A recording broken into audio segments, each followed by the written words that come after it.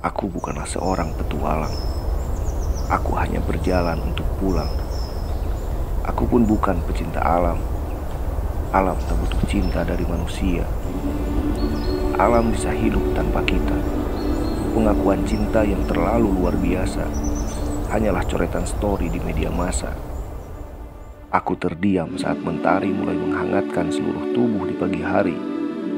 Langkah kaki yang aku mulai melewati rimbunnya hutan dan sungai adalah tujuan yang ingin aku gapai. Keindahan alam Gunung Sagara tidak seperti kita yang hanya berpura-pura.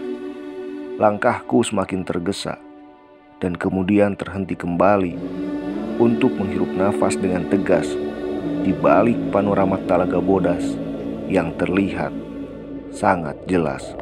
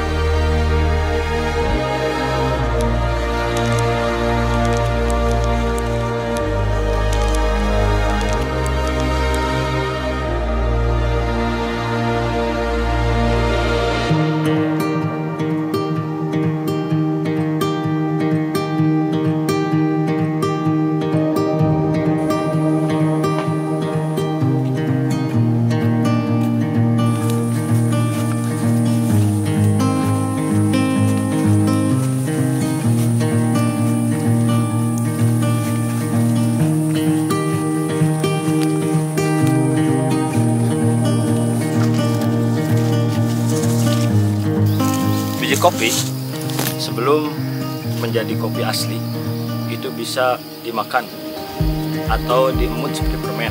Caranya kita makan, buang ininya. Jadi diemut itu ada rasa manis-manisnya.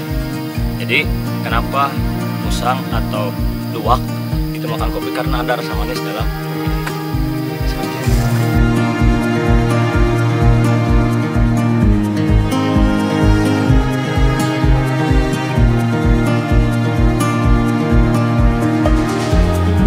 Dari bawah berapa jam tadi?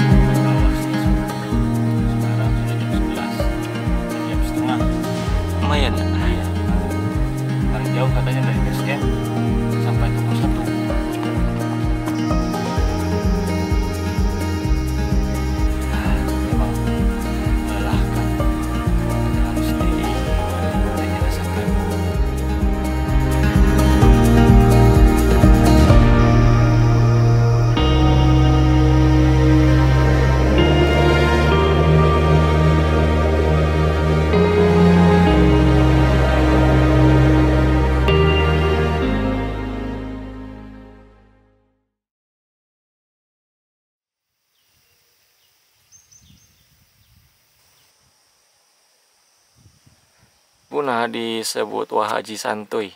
Sormat cekeng sok ieu atau sep sarantuy we ceng da ieu cekeng puncak mama kamana tah orang Sumedang. Sep tanya nu sok ieu teh nu sok sering angkat ka dieu ah cenah aya nama ieu we aranan mah Haji Santuy. Ya sep teh kekengeng eta nage teh Sumedang sep teh ngadama ieu na oge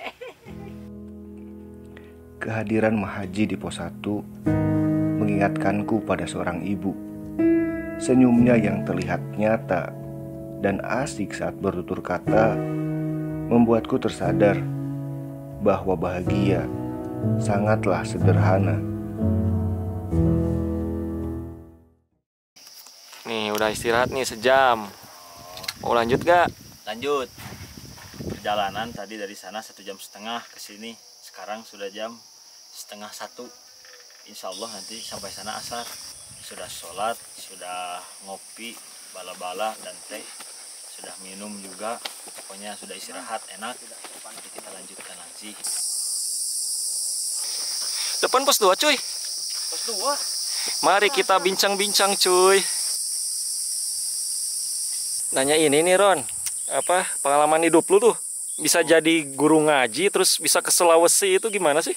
Kalau saya pribadi ya saya memang dari dulu dari SD cita-cita itu jadi guru. Tapi pas ketika sekolah, kenapa saya sekolah itu tidak dilanjutkan ke jurusan kejuruan guru ya? Malahan di kuliah saya ambil jurusan hukum ekonomi syariah. Tapi karena memang sudah kita berniat tadi yang pertama yakin, yakin jadi guru, pasti Allah itu tentukan jadi guru lagi. Walaupun kita sudah berlari ke mana pun, kalau misalkan sudah takdirnya jadi guru dan cita-cita kita jadi guru, jadi guru jadinya. Dan hasil ikhtiar dan doa itu, alhamdulillah sekarang jadi guru ngaji di Sulawesi. Ya, padahal di Garut juga masih ada min yang butuh guru ngaji, ya. Tapi ya gak apa-apa karena mungkin di Sulawesi itu kan kurang ya, kurang yang memang ruhul ikhlas. Ruhul ikhlas itu kalau kata Kiai Ahmad Dahlan susah dicarinya. Ruhul ikhlas itu bagi kadar Muhammadiyah harus ada. Ya, jadi bagi kadar-kadar seperti Jenderal Sudirman, terus banyak sekali orang-orang yang berkhidmat untuk negara ya. Itu adalah kadar-kadar Muhammadiyah yang memang dia mempunyai ruhul ikhlas. Min. Seperti itu, Min. Jadi intinya perjalanan hidup saya ini harus ada yang namanya ruhul ikhlas dalam Perjalanan ini benar-benar aku tunggu. Berbekal cita-cita menjadi seorang guru bukanlah hal yang mudah untuk dituju. Kurang lebih dua tahun lamanya, aku ditugaskan menjadi seorang pengajar di sebuah desa pedalaman di Sulawesi Tenggara. Alasanku mendaki Gunung Sagara karena aku percaya pendakian adalah guru terbesar sebagai hasil persentuhan alam dengan panca indera manusia atau bisa kita sebut pengalaman. Aku sangatlah miskin dengan pengalaman. Suka duka saat berada di pedalaman mengajarkanku untuk selalu belajar, belajar, dan belajar. Tak ada yang bisa aku sombongkan.